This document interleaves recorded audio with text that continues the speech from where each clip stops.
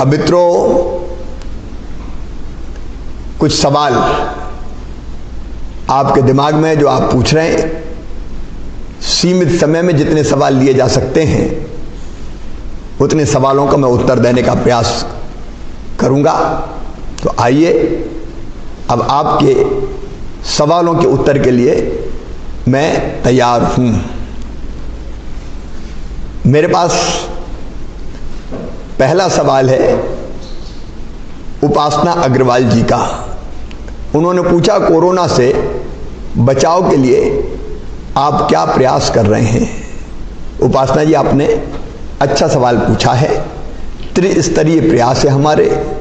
सबसे पहली चीज़ तो यही है कि कोरोना से अगर बचना है तो नंबर एक, हम अपने आप को अपने घरों में रखें। लगातार सरकार, प्रशासन और समाज ये अपील कर रहा है कि अपने घरों में रहें। अत्यावश्यक वस्तुओं की आपूर्ति के लिए। अगर हमको जाना पड़ता है कहीं बाहर सब्ज़ी के लिए, दवाई के लिए तो उसमें केवल एक व्यक्ति जाए। आपने देखा होगा कई शहरों में, जब हम जाते हैं तो चूने से, पेंट से गोले बनाए हुए हैं। एक दूसरे के बीच सोशल डिस्टेंसिंग जिसको हमने कहा है, तीन फिट की दूरी कम से कम रखें उसके लिए लोगों को एजुकेट करने का काम किया जा रहा है। इसके अतिरिक्त अगर सर्दी, खांसी, जुकाम जैसी कोई बीमारी है तो ये हर बीमारी कोई कोरोना वायरस के लक्षण नहीं होती। ऐसी बीमारी में घर पर ही वो अस्पताल ना जाए, घर पर ही सर्दी, खांसी, जुकाम, इसके इलाज की व्यवस्था हो जाए। कई प्रमुख शहरों में बाकी जो विभाग थे, उनकी गाड़ियों को भी मोबाइल बैन बनाने का हमने प्रयास किया है, टोल फ्री नंबर है, उस पर अगर फ़ोन करते हैं तो उस फ़ोन के आधार पर भी सर्दी जा सर्दी खांसी, जुकाम जैसी जो छोटी मोटी चीज़ें हैं, उनके इलाज की व्यवस्था करने का प्रयास किया जा रहा है। अगर कहीं कोरोना के संदिग्ध पेशेंट मिलते हैं, बुखार है, बाकी लक्षण हैं तो फिर उनके स्वाब को टेस्टिंग के लिए लिया जाता है। टेस्टिंग किट्स की संख्या लगातार अब हम उपलब्धता लगातार हम बढ़ाने का काम कर रहे हैं। उसको हम टेस्टिंग के लिए भेजते हैं और उसके बाद अगर पॉजिटिव पाया जाता है तो फिर उनको अलग ले जाके हमने भोपाल, इंदौर, जबलपुर जैसे शहरों में अलग अलग बेड्स की व्यवस्था की है, जहाँ उनको लेके हम भर्ती करते हैं और उनके कोरोना वायरस संक्रमण रोकने के लिए आवश्यक इलाज है, उसकी व्यवस्था करते हैं। हमने जो हमारे मेडिकल कॉलेजेज हैं, उनमें भी बेड सुरक्षित किए हैं। हम ज़रूरत पड़ने पे प्राइवेट अस्पतालों को भी पूरे का पूरा, केवल कोरोना के मरीजों के लिए आरक्षित करने का काम कर रहे हैं। टेस्टिंग किट के अलावा बाकी जितनी चीज़ों की ज़रूरत है आ, दवाइयों की हाइड्रोक्सी क्लोरोक्वीन जैसी जो टैबलेट्स हैं उनकी उपलब्धता हमारे पास पर्याप्त है। हमारे पास लगभग सात लाख टैबलेट्स हैं। वेंटिलेटर की संख्या बढ़े उसके प्रयास में भी हम लगातार लगे हुए हैं। और इसलिए कोरोना वायरस के संक्रमित मरीजों को स्वस्थ करने के लिए ठीक इलाज देने के लिए हमारे डॉक्टर्स नर्स पैरामेडिकल स्टाफ्स पूरी क्षमता और पूरी ताकत से लगे हुए हैं। मैं उनको एक बार फिर प्रणाम करता हूँ और आपको विश्वास दिलाता हूँ कि इलाज के व्यवस्था में हम कोई कमी नहीं आने देंगे। अब हम दूसरा सवाल ले रहे हैं, लेकिन जब मैंने आपसे ये बात कही है कि हम कोई कमी नहीं आने देंगे तब आप भी जो संक्रमित संक्रमित, संक्र, जिन, जिनको संक्रमण हुआ है, उनके प्रति भी उनको अलग रखना है, लेकिन सहानुभूति का, स्नेह का भाव रखें, क्योंकि वो भी हमारे अपने हैं। अब दूसरा सवाल है, अंजलि राठौर जी का। उन्होंने पूछा है कि अस्पताल में उपचार एवं आइसोलेशन की कैसी व्यवस्था की गई है? अब मैंने उपचार और आइसोलेशन के बारे में तो बताया। उन्होंने कहा कि हमारे पास कितने टेस्टिंग किट्स उपलब्ध है? स्पेसिफिक उन्होंने पूछा है। मैं बताना चाहता हूँ कि हमारे पास 1600 टेस्टिंग किट हमारे स्टॉक में है। आने वाले तीन दिनों में ये संख्या बढ़कर दस हज़ार हो जाएगी। हमने एक कंपनी को और पुणे की कंपनी है, एक लाख किट्स का और ऑर्डर दिया है। तो मैं ये विश्वास दिलाता हूँ आपको कि टेस्टिंग किट की, चूँकि प्रारंभ में हमारी पूरी व्यवस्था नहीं थी, अब हम लगातार व्यवस्था कर रहे हैं और आगे भी हम कोई दिक्कत नहीं आने देंगे और मेरा पूरा विश्वास है कि जिस क्षमता से हमारे डॉक्टर्स और बाकी टीम लगी हुई है पैरामेडिकल स्टाफ्स भी, हम टेस्टिंग में भी कोई दिक्कत नहीं आने देंगे और उपचार भी ठीक से हो, इसकी व्यवस्था करेंगे।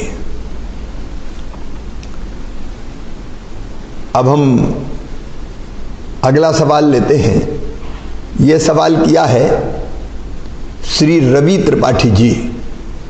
रवि त्रिपाठी जी पूछ रहे हैं, मेडिकल स्टाफ के लिए PPE personal protection equipment kit की उपलब्धता की क्या स्थिति है?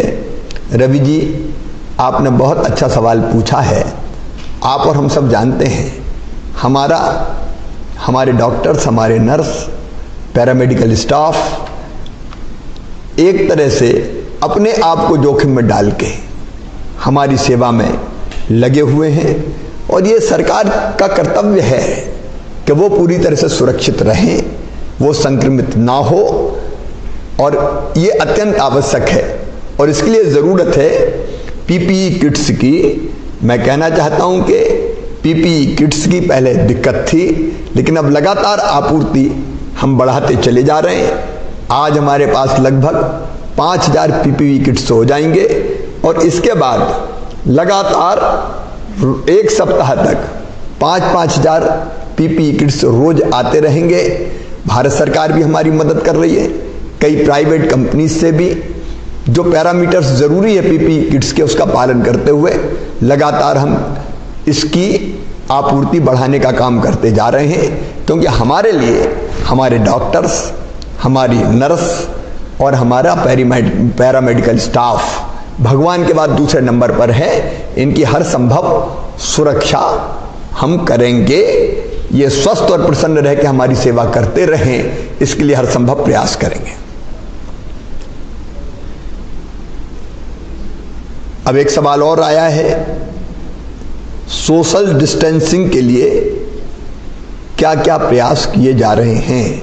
यह सवाल पूछा है श्रीमती वंदना सेन जी ने।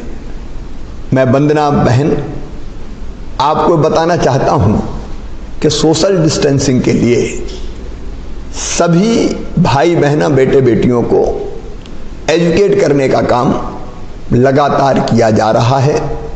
अनाउंसमेंट होते हैं, पुलिस की गाड़ियों से लेके बाकी शासकीय जो वाहन है एड्स विज्ञापन दिए गए हैं, प्रधानमंत्री जी की अपील, मेरी अपील, स्वयंसेवियों की समाज सेवियों की अपील, और ये जानकारी कि सोशल डिस्टेंसिंग घर में रहते हैं अलग तो घर में कोई दिक्कत नहीं, हम अलग रहें, लेकिन बाहर अत्यावश्यक काम से निकलना पड़ा तो तीन फीट की दूरी कम से कम सोशल डिस्टेंसिंग के लिए रखना ज़रूरी है। और यह काम तो जनजागरण करके ही होगा। और यह काम अकेला मेरा भी नहीं है। ये काम आपका भी है, वंदना जी। हम सबका है। हम जो जहाँ हैं, वहाँ से सोशल डिस्टेंसिंग बनाए रखें, इस काम में लग जाएँ, और उसके साथ साथ जो और ज़रूरी चीज़ें हैं, अगर खांसी, सर्दी, जुकाम हो तो हम उसका प्रारंभिक जाँच करवाएँ। खांसी या छींक आती है तो रुमाल मुँह पर रखकर ही हम खांसें या छींकें। बार बार लगातार हम हाथ धोते रहें। ये भी एजुकेट करने का प्रयास किया जा रहा है। अतुल जी ने एक बड़ा महत्वपूर्ण सवाल पूछा है। उन्होंने पूछा है कि जो मध्य प्रदेश के बाहर काम करने के लिए गए थे वे अब वहाँ से विस्थापित हो रहे हैं, वापस आ रहे हैं। उनकी क्या व्यवस्था की जा रही है? अतुल जी, एक तो मैं अपील करता हूँ मध्य प्रदेश के बाहर जो मध्य प्रदेश के भाई और बहनें उनसे कि कृपया करके आप जहाँ हैं, जिस घर में हैं, जिस स्थान पर रह रहे हैं, वो स्थान ना छोड़ें। क्योंकि बड़ी भीड़ में निकलना ये संक्रमण को बढ़ा सकता है। हमने जो जहाँ है, वह उनके भोजन और आवास की व्यवस्था के हर संभव प्रयास किए हैं। जैसे मैंने पहले भी बताया, हमारे जो बाकी सीमावर्ती राज्य हैं, उनके मुख्यमंत्रियों से मेरी लगातार चर्चा हो रही है और हमने ये कहा है, और हमने ये कहा है कि हम उसके लिए धन की पर्याप्त व्यवस्था करेंगे पैसे की व्यवस्था आपको नहीं करना। लेकिन अगर कोई निकल के आ गया है तो हम फिर उसको सुरक्षित अपनी सीमा से गाँव में ले जाएँगे। गाँव के बाहर आइसोलेशन में स्कूल या पंचायत भवन वहाँ रखेंगे, प्रारंभिक जाँच करेंगे और जो आइसोलेशन के नियम हैं, उनका पालन करते हुए वो स्वस्थ और सुरक्षित रखें, रहें और बाकी को भी स्वस्थ रखें, इसका प्रयास करेंगे। एक सवाल श्री हरीश रावत जी ने बड़ा महत्वपूर्ण पूछा है, किसान के माल की खरीदी नहीं हो पा रही और उसके पास केसीसी की किस्त जमा करने के लिए भी पैसे नहीं हैं, वह क्या करे? हरीश जी, प्रारंभ में भी मैंने कहा था कि किसान चिंता ना करें, ये संकट आया है। इसके कारण मंडियों में भीड़ ना हो, मंडी बंद है। खरीद में भी थोड़ा सा डिले हुआ है, लेकिन आप चिंता ना करें। आपकी फ़सल पूरी तरह से गेहूँ पूरी तरह से खरीदा जाएगा। किसान ठीक से अपने अनाज को, उत्पाद को बेच पाए, इसकी पूरी व्यवस्था की जाएगी। मैं हूँ ना, आप चिंता क्यों करते हैं? डिले ज़रूर हुआ है क्योंकि समय भीड़ इकट्ठी नहीं हो सकती। लेकिन हम लगातार स्थिति पर नज़र रखे हुए हैं। और किसान के उत्पाद को हम खरीदने का पूरा काम करेंगे, उसकी आप चिंता ना करें। उसके साथ साथ केसीसी की किस्त जमा करने की तिथि बढ़ा के 31 मार्च से 30 अप्रैल कर दी गई है। श्री शैलेंद्र पवार जी ने एक बहुत महत्वपूर्ण सवाल पूछा है। स्वास्थ्य कर्मचारी अपना जीवन जोखिम में डालकर काम कर रहे हैं। उनके बीमा आदि की क्या व्यवस्था की गई है? शैलन जी, बहुत महत्वपूर्ण सवाल है और आपने प्रधानमंत्री जी का उद्बोधन सुना होगा। उस दिन उन्होंने भी स्वास्थ्य कर्मियों का, डॉक्टर्स, नर्स के बीमा करवाने की 50 लाख रुपए तक का अनाउंस किया है, घोषणा की है। हमने मध्य प्रदेश में भी ये तय किया है कि सरकारी जो हमारे डॉक्टर्स, नर्स, स्वास्थ्यकर्मी, उनके अतिरिक्त भी प्राइवेट सेक्टर के अगर हमारे ऐसे डॉक्टर, नर्स और पैरामेडिकल स्टाफ है तो उनका भी हम बीमा करवाएँगे। भगवान ना करे, कोरोना के कारण कोई दिक्कत हो, नहीं तो 50 लाख रुपए का उनका बीमा करवाने के मैंने निर्देश दिए, उस पर हम लोग काम कर रहे हैं। संदीप राठौर जी ने एक सवाल पूछा है, जो सामाजिक संस्थाएँ अथवा व्यक्ति कोरोना के विरुद्ध जी जान से जुटे हुए हैं, उनके लिए आप क्या कहना चाहेंगे? मैं उनको प्रणाम करना चाहूँगा, उनका अभिनंदन करना चाहूँगा। पीड़ित मानवता की सेवा के लिए वो आगे आए हैं। परहित सरिस धर्म नहीं भाई, पर पीड़ा सम नहीं अधमाई। इससे बड़ा पुण्य और कोई दूसरा हो नहीं सकता। मैं इतनी प्रार्थना ज़रूर करूँगा कि हर कोई अपने मन से कहीं ना निकले, प्रशासन के साथ तालमेल करके ही समाज सेवा के काम में, भोजन इत्यादि के काम में लगे। एक सवाल और मेरे पास आ गया सुनील पटेल जी का। वो कह रहे हैं कि कोरोना संदिग्ध लोगों को मकान मालिक जबरन घर से निकाल रहे हैं, ऐसे में हम क्या करें? मैं ये कहना चाहूँगा कि उनसे भी मानवीय व्यवहार होना चाहिए। हर एक संदिग्ध पॉजिटिव नहीं होता, लेकिन उनको अस्पताल में हम उनका टेस्टिंग करवाएँ ज़रूरत पड़े तो अस्पताल में भर्ती करवाएँ। एक बात और आई है। कई लोगों ने कहा कि मकान हमसे खाली करवाने केवल कोरोना संदिग्ध नहीं, बाकी से भी कहा कि अब मकान खाली कर दें। हमने ये फैसला किया है कि कोई मकान खाली नहीं होगा। कोरोना संदिग्ध है तो उसको उचित स्थान पर भर्ती करवाया जाएगा। लेकिन कोई मकान मालिक ज़बरदस्ती मकान खाली ना करवाए। कुछ जगह से डॉक्टर नर्स को भी कहा कि मकान खाली कर दो। अगर ऐसा किसी ने किया तो उसके खिलाफ दंडात्मक कार्यवाही की जाएगी। किराया लेने के लिए भी कोई इंसिस्ट ना करे। इस समय अगर पैसे नहीं तो किराया कहाँ से देंगे? तो मकान मालिक उनको निकाल नहीं सकते। इसके निर्देश भी मैंने दे दिए हैं। हाँ दिनेश जाटवा जी का सवाल है, कुछ फैक्ट्री मालिक काम बंद होने के कारण मजदूरों को फैक्ट्री छोड़ने के लिए मजबूर कर रहे हैं। ऐसे मजदूरों के सामने रोटी का संकट पैदा हो गया है। उनकी कैसे सहायता करेंगे? एक तो सारे फैक्ट्री मालिकों को मध्य प्रदेश हम निर्देश दे रहे हैं। ये वो लोग हैं जिनके कारण आपकी फैक्ट्री चलती है। जब तक काम किया तब तक पास रखें। अब काम नहीं तो बाहर कर दें। ये नहीं होगा। कोई फैक्ट्री मालिक किसी को नौकरी से नहीं निकाल सकता और उसको तनख्वाह भी देनी पड़ेगी। और इसलिए अगर फैक्ट्री परिसर में रह रहे हैं तो फैक्ट्री परिसर में रहेंगे। वो किसी मकान में किराए पर रह रहे हैं तो वहाँ वो वहाँ रहेंगे। अगर किसी ने ज़बरदस्ती निकालने की कोशिश की तो उनके विरुद्ध भी फैक्ट्री मालिक हो, कोई उनके विरुद्ध कार्रवाई की जाएगी। मित्रों, सवाल और भी है, लेकिन हम जानते हैं कि समय की सीमा है। एक बार जो और प्रश्न आए हैं, हम कोशिश करेंगे कि उनका उत्तर भी हम फेसबुक के माध्यम से लिखित उत्तर आपके पास भेजें। मैं एक बार अंत में फिर ये निवेदन करना चाहूँगा, सब तरफ़ निराशा नहीं है। जबलपुर में और ग्वालियर में जो पेशेंट्स एडमिट थे पॉजिटिव अब ग्वालियर के नेगेटिव आ गए मतलब स्वस्थ हो गए। जबलपुर के तेज़ी से स्वस्थ स्वस्थ हो रहे हैं।